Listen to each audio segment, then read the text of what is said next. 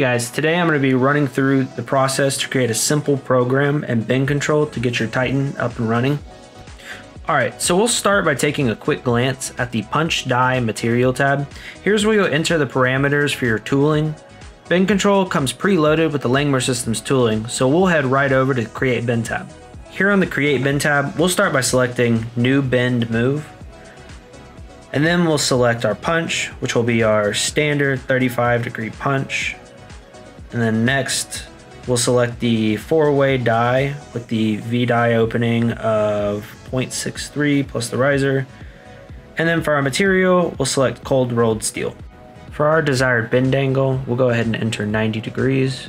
For our material thickness, we'll enter 0.11.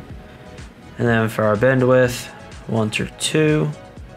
And for the rest of our parameters, we'll go ahead and leave them with their default values. We'll go ahead and give this bend a title. We'll give it something generic for now. Call it 90 degrees cold rolled steel. We'll hit select OK, and then we'll select save.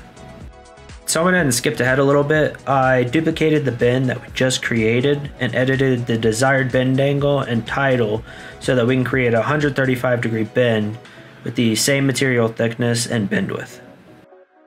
So now we can head over to the Run tab. We'll select New, and we'll give this program some title. We'll call this one Sample Program.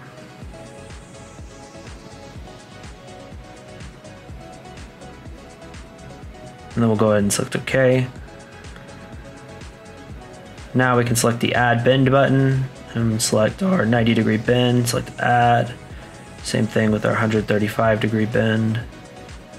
And now we can select save. We'll leave auto clamp to bend off and we'll leave it in program bend mode. So now our program is ready to run with the run program button and then select yes. Now we can hit our safety buttons and jog the RAM down to the safety clearance plane.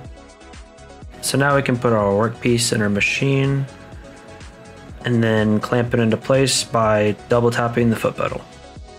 All right, that looks good. So now we'll go ahead and make our bend. The RAM will retract up to the safety clearance plane. So now we can flip our workpiece and then clamp it into place. And that looks pretty close, so we'll proceed with the bend. All right, that's it. Program is executed successfully. In the future, we'll release more videos where we go into more detail on some of the other features that Bend Control has to offer. Thanks for watching.